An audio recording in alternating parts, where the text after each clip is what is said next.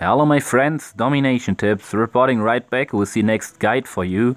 So today we will deal about our bunkers because some of my alliance members as well as some uh, subscribers from my videos told me that they have some problems, some struggle and even some uh, very frequently asked questions and concerns about the uh, bunkers and about some researches all around the bunkers and the heavy tanks. So only for example when and which tanks are getting splash damage from research, what's up with donated troops and all that stuff. And I can only tell you it is a very complicated topic. So I want to bring a little bit light for you into this topic. Therefore, I have structured my guide for you. Um, we will start with some general information. So only, for example, in which age you are getting access to the heavy tanks.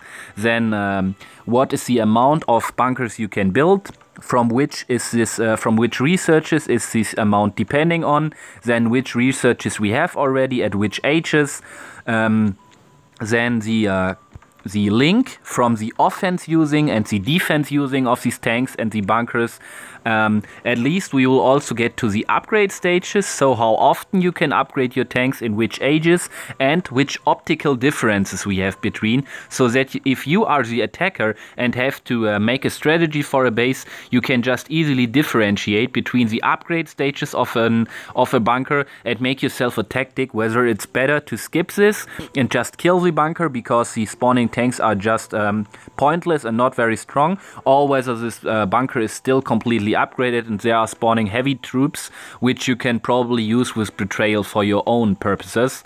In total, we will uh, come up to the last chapter of um, experiences and recommendations. There I will tell you uh, which uh, experience me and my alliance members already did and what I can recommend you, um, when, what to upgrade and when to skip probably because there are uh, more important updates. I meant upgrades. Sorry guys.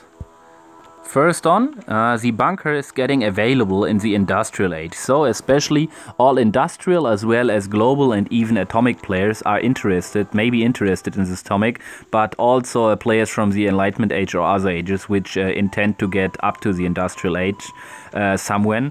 The um, bunker is spawning some heavy tanks and it also spawns like nearly all other defensive buildings. One um, defend defender very very early um, in about 8 seconds. This is a um, already boosted up value because it, this bunker is in range of my Acropolis. So it may be some other values at your base. And uh, the next wave you see is quite use um, quite has a quite duration which is quite much much longer. So you see the second tank is getting spawned um, nearly one minute after the first tank. So it's quite a while the researches concerning the bunker is uh, stage 6 of the university, the first industrial stage, our nationalism uh, book. And in this book we have five chapters. In my opinion, chapter 1 and chapter 5 are completely not ridiculous, but they are really pointless because the bunker is not a building which is um, very important due to its high hit points, but you can get two times plus 10% um, additional hit points. And so in total, you will have to pay about, I don't know, 20 or even 30,000 oil, and in the end, about 90,000 oil for some about 640 or even 680 additional hit points. And that seems to be ridiculous for me. So the first upgrade I did because uh, I had to do to get to the stage 2, 3 and 4 update upgrades, but uh, chapter 5 I didn't research and I won't do in the future also. I tried to skip it.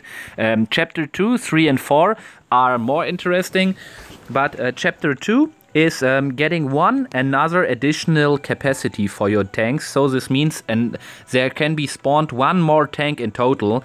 The problem about this is I already told you the first tank is getting spawned quite uh, quite early after 8 seconds if you have all researches done and the Acropolis boost for your bunker. But the next tank then is only getting spawned at 48 seconds later or even if you have not boosts and research done even about I think one minute later. That means there is one minute time between between the first and the second spawn, and most often the first tank already got destroyed or even betrayed by the enemy before uh, spawning the second one. So I think the second uh, research is okay, but not uh, major important. The major importance should be chapter 3 and even chapter 4 because at chapter 3 you see we can get our second bunker. The uh, complete limit um, in the industrial as well as global and atomic age are two bunkers. So um, did I say three? I'm not quite sure. Chapter 3, nevertheless, chapter 3 is very important because you get access to two bunkers. You can't have more uh, in the current game. Chapter 4 is about plus 10% additional attack from our heavy tank defenders. That's also quite uh, some kind of cool. We have another um, research, which is depending or even concerning our heavy tanks. But over here, it is quite the fact I already mentioned. Here we have the problem that these researches which are done are only for offense purposes. So they are also concerning our tank, but not our defense tanks from the bunkers. Over here we see the splash damage research and the troop capacity need, uh, which is getting reduced from 25 to 24. But the splash damage, which is by the way, by the way very awesome, is not getting researched for defense purposes, only for offense purposes or for donated troops in your town center, which we will talk about later.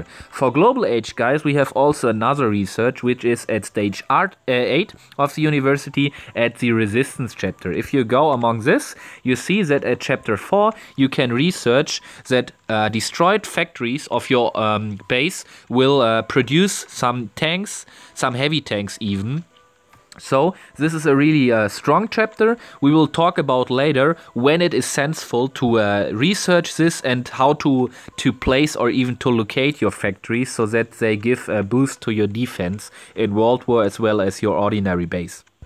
In the university, we also have some researchers among uh, Leonardo da Vinci at stage 5, but we only have over here again some offense researchers. So we can research the hit points as well as the damage for our tanks, but this is definitely not in defense meaning, only in the offense meaning.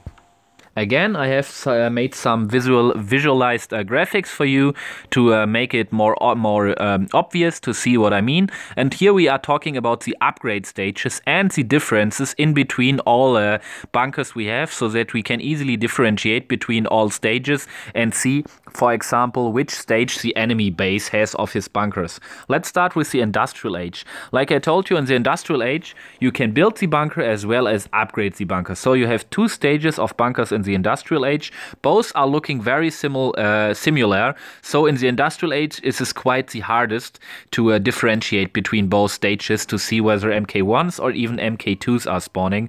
But nevertheless, if you compare them, you see there are some uh, very um, some quite obvious um, differences between. The first thing, which is uh, major obvious, is the roof because you can see the upgraded version has all over the same color, this beige color, and the uh, not upgraded version has this gray metal roof. So you can see if the roof is gray, only MK1s are spawning. If the complete bunker has the same color, MK2s are spawning. There are also some minor differences like the barbed wire on top at the maxed out stage and no barbed wire at the not maxed out stage, but therefore most often you have to zoom in or to pinch in and which costs you already some time. So make sure which uh, roof color is there and you can see what tanks are spawning out. The global stage is even has a complete other color. There's also some uh, some little aspects about the uh, complete structure of the bunker. So we have not uh, three columns over here, only two columns at the front, at the front and at the back. But this is not very obvious. The most obvious fact is the colors, which is changing from uh, beige to uh, to gray and which makes it very easily to dis, uh, differentiate between industrial and global stage. At the atomic stage, the bunker stays gray, but the complete shape of the bunker is changing. The barbed wire is going away, and the complete edges are nearly morphing to some uh, round, uh, yes, to a round shape in total, uh, with less edges and um, corners. Uh, I don't know how to describe it better. Also, in the previous stages, we saw see at every defensive building with this uh, red and blue colors. Um, if it is an uh, enemy defensive building or one of your own, and in the global age we quite don't have this because over here the complete bunker is only in the colors yellow and gray. So in total, I think the uh, different upgrade stages are quite obvious and easily to differentiate. Now let's come to our last chapter, the experiences as well as recommendations we have.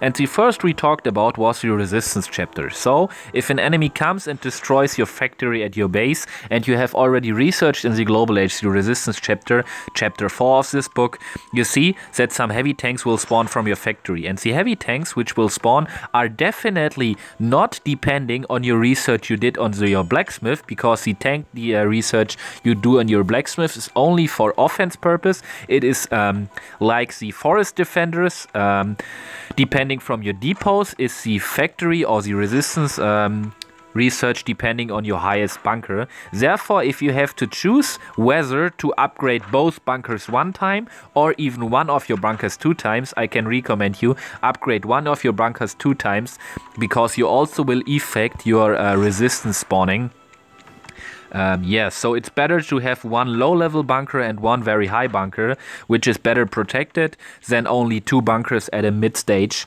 because, like I told you, the resistance chapter also will get affected, like the uh, garrisons effect our Colosseum and Town Center defenders, and the depot effect our forest defenders.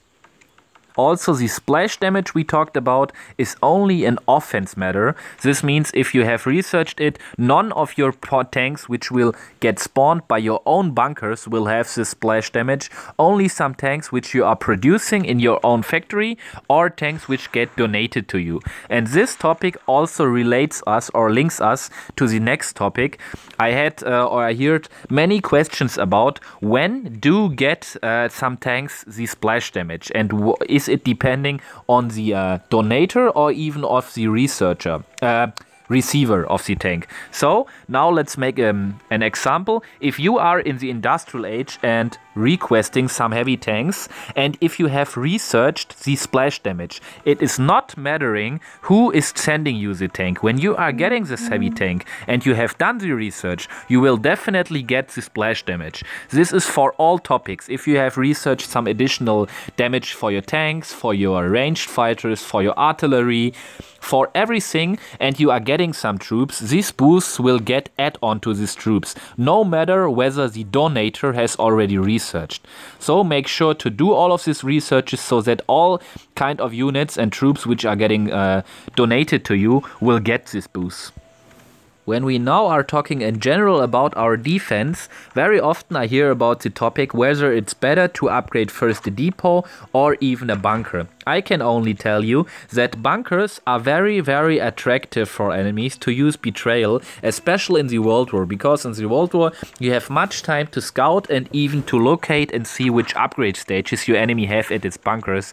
And if you see the enemy has no depots, so only some ponies from the Enlightenment Age are spawning, but he has already some bunkers, even probably some upgraded bunkers. You see there are very heavy tanks.